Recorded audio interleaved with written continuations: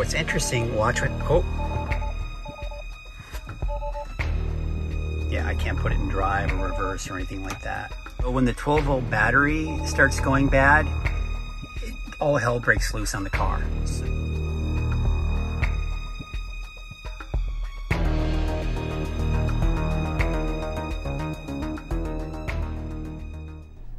Okay, so the introduction may have been a little dramatic, but it does illustrate how quickly things can go from good to bad in an instant. I was just getting into my car as usual, only to discover I couldn't put it into reverse or drive, and the screen was blank. Now, once this all happened, I decided to pull up my phone and document what was happening. So upon getting in my car, I did my typical, went into reverse, and I noticed nothing was happening. Now, what's interesting, watch what, oh, so this is the first time I'm getting anything from the screen. And let's see what pops up. Uh, but when I initially, oh, all right. Let's see here. Electrical system power reduced. Non-essential features. Service is required. So let's see here. Parking brake functions degraded. Uh, parking brake functions, parking brake. 12 volt battery must be replaced soon. So this is what I think everyone's been dreading, right? Is the battery needing to be replaced. So there are going to be a few options that I'm going to check into because I'm obviously going to need a new battery soon.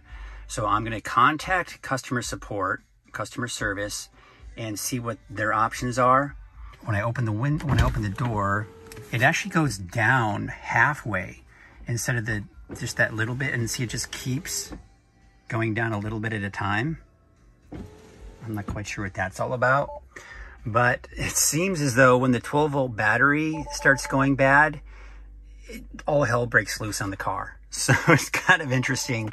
So oh, there, it finally just lost all its power. So my next step is going to be to check the voltage coming out of the battery. And then obviously checking into getting a new battery, see what happens. I remember I was talking about the, the window goes all the way down in little increments. When I, when I close the door, it goes back up, but just that little bit. So many of you may know that I have the automatic opening and closing frunk.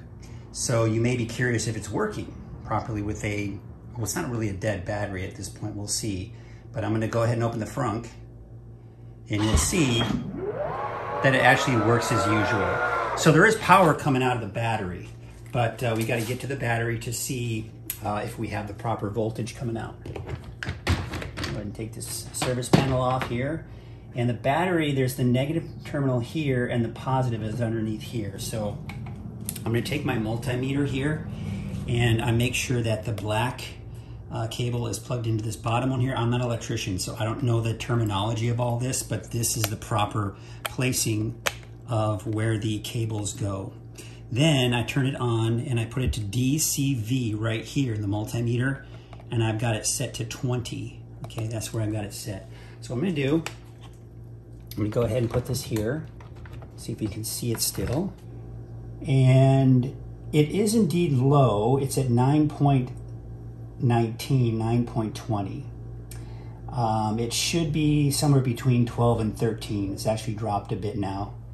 So it's it's obviously low. It's not holding a charge very well. So, oh, interesting. It's back up to 12.3. After seeing the spike in voltage, I decided to go back in the car to see if I could get the car in drive or reverse, but still no luck. I was continuing to get all of the alerts, and what I discovered later after looking at the video is the map is only displaying my city and state, but not my actual address. Now this could possibly be part of the low power mode of the car, but don't quote me on that.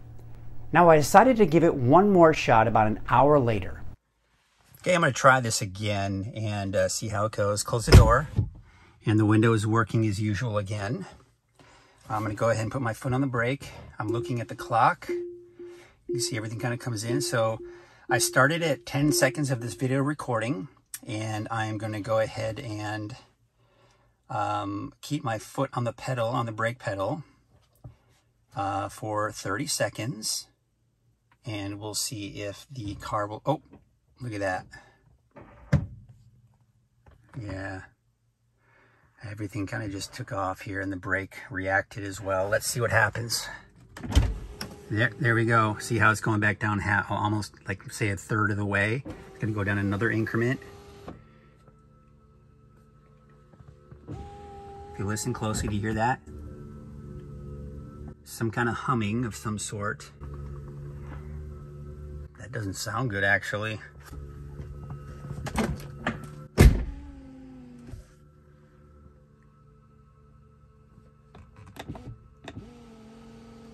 Now I'm trying to just put the, the window all the way up if I can.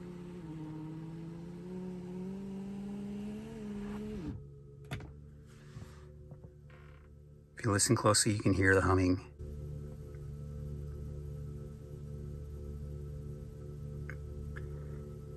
So that is what I'm dealing with right now. Oh, now the screen is coming back up. All these different beeps and warnings. And so now there seems to be enough power. Unable to charge. Service is required. Electrical system power reduced. Power braking assisted reduced. Let's see if the window works normally. Nope, same thing. Yep, it can't go up. Uh, it's trying, it's trying. There we go. All right, so next step, contact customer service. Second step, I'm gonna see if I can order a battery and then we'll kind of go from there. But kind of at this point, if I can get the car going, I don't think I'm gonna wanna take it out anywhere because I don't wanna get stranded anywhere. So uh, wish me luck. See, hopefully it doesn't take too long. At this point, I started looking at all of my options, and the first place I looked was Tesla customer service. I was able to exchange a few texts with the service technician, and the earliest he could get mobile service out to me was on Wednesday. This all happened on a Thursday the week before. That wasn't soon enough, so I looked into the Ohmmu lithium battery and was able to get it shipped out overnight. But the price had me thinking twice about it, especially since Tesla was only going to charge me $122 for parts and labor once the mobile service arrived and I later discovered the battery alone was $85. Now keep in mind, prices may vary depending on where you are, but this is a good ballpark figure. Now I plan on doing a separate video in this series explaining the options available, and we'll let you know in that video which option I went with. But once I did order my 12 volt battery, I checked the status of my car the next day. The 12 volt battery is still showing that it's uh, low and needs to be replaced soon. But in a pinch, if I had to, I could very easily drive this car and I could get to where I needed to go, but I would have in the back of my mind an issue as to whether or not the car is going to start. Because I think about what happened yesterday and how I wasn't able to get in there. But it's restored to normal, everything seems to be okay. What I'm going to do is get into the garage and I am going to go ahead and see if I can't uh, see what kind of voltage is putting out. All right, so I mean, I've got a fully charged 12 volt battery. So is it safe for me to go out and, and drive the car? I don't know. Uh, it certainly is going to be a risk. Uh, 14.1 is what I'm looking at. Yesterday, uh, it was somewhere around 8 to 9. So somehow overnight it seems to have recharged. Um, I don't know, maybe I can risk it. We'll see. Now, in the end, I did need to drive the car over the weekend before the battery arrived, and it performed as usual. Now, I did have one instance though where the car went into low power mode, but once I got out of the car and re entered, the car was back to normal. Now, when the battery arrived on Monday, I was able to get it installed in less than 30 minutes. Now on that note, I will also have a step-by-step video on how to properly install a new 12 volt battery. In the meantime, be on the lookout for my next video in this series when I discuss with you the different 12 volt battery options and which one I decided to go with. Well, thank you all so much for watching, and you know the drill. Like, subscribe, and stay positively charged.